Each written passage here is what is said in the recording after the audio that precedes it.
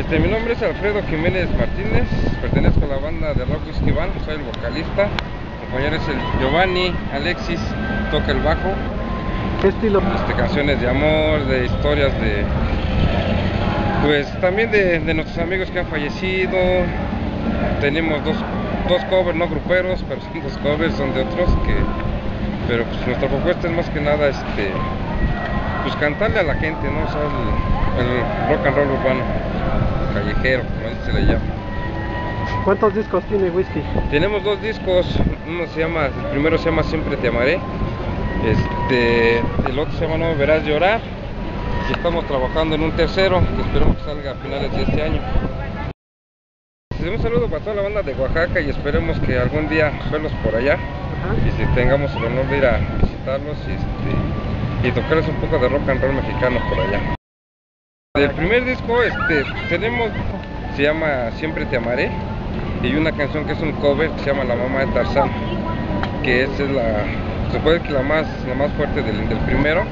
Y el segundo pues, es la de No me verás llorar, este, una que se llama Amigo mío, este, otra que se llama Déjame y otro cover que se llama Prostituta, que es una canción viejísima, yo la escuché cuando yo era niño, te imagino. Este, una, una muy buena rola que, bueno, esa es nuestra, nuestra propuesta. ¿no? Perfecto.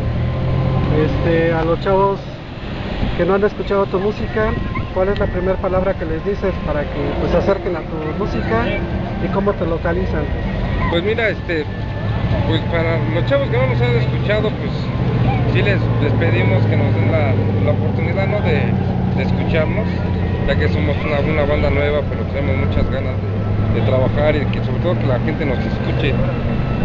Este, ¿cómo nos pueden localizar? Pues por Facebook, este, tenemos videos en YouTube, pues, los quieren, los quieren checar, este, el grupo se llama Whisky Van. Contrataciones al teléfono de 5520 3628 74 con Alfredo.